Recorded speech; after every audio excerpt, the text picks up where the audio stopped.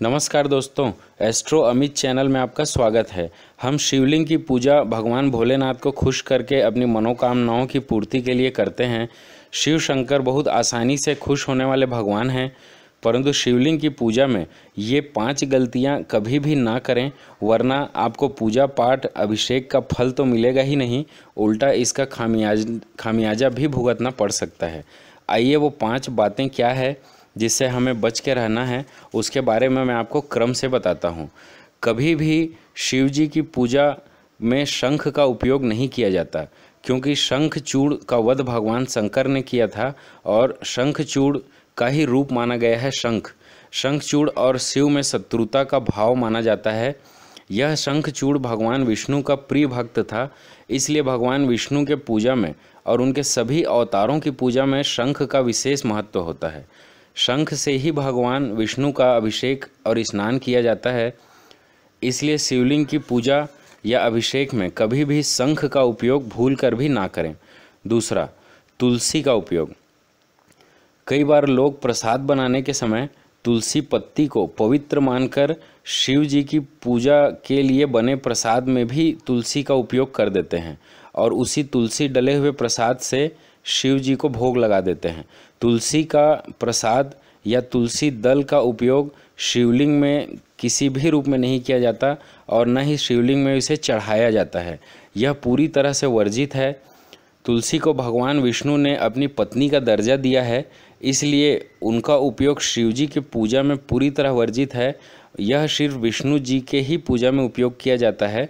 तुलसी का उपयोग विष्णु जी और उनके सारे अवतारों की पूजा, भोग, प्रसाद आदि में प्राथमिकता से किया जाता है। तुलसी के बिना विष्णु पूजा को अधूरा माना गया है। तो इसलिए तुलसी का उपयोग शिव जी के पूजा में बिल्कुल ना करें। तुलसी को शंखचूर्ण की पत्नी भी बताया गया है। तीसरा, तिल का उपयोग।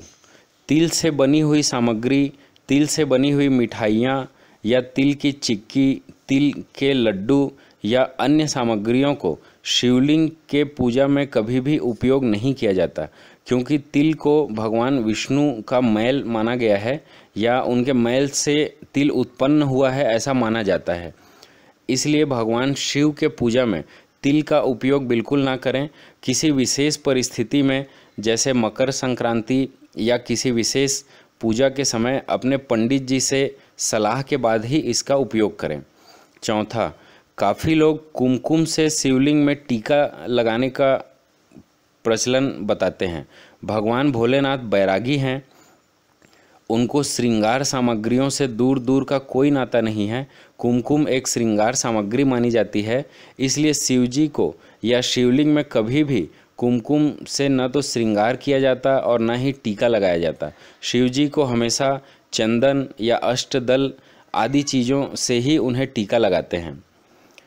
पांचवा, सामान्यतः लोग हल्दी आदि का लेप भी शिवलिंग में कर दिया करते हैं, जो शिवलिंग में पूरी तरह से वर्जित है, क्योंकि हल्दी भी एक श्रृंगार सामग्री मानी गई है और भगवान भोलेनाथ को किसी भी प्रकार की श्रृंगार सामग्री का उपयोग नहीं किया जाता। नारियल का भी उपयोग शिवलिंग में नहीं किया जाता। नारियल का प्रसाद भी सामान्यतः शिवलिंग में नहीं चढ़ाते हैं। अगर आप शिवलिंग में नारियल प्रसाद के रूप में चढ़ाए भी हैं तो उसे फोड़कर प्रसाद के रूप में ग्रहण नहीं करना है। पूजा सामग्री के बाद इसे नदी या तालाब में विसर्जित कर दिया जाता है। तो आप शिवलिंग के पूजा में इन विशेष सावधानियों का उपयोग करिए। और मैंने एक वीडियो भी बनाया है जिसमें शिवलिंग के पूजा में किन पुष्पों का उपयोग करना चाहिए और क्या क्या भगवान शिव को पसंदीदा पुष्प है और फल हैं जिनका उपयोग करना चाहिए, उस वीडियो को भी आप एक बार देख सकते हैं। और आप अपनी मनोकामना पूर्ति के लिए शिवलिंग का पूजा पाठ अभिषेक करिए और इन वर्जित सामग्रियों से दूर रहते हुए अपनी मनोकामनाओं की पूर्ति करिए। धन्यवाद।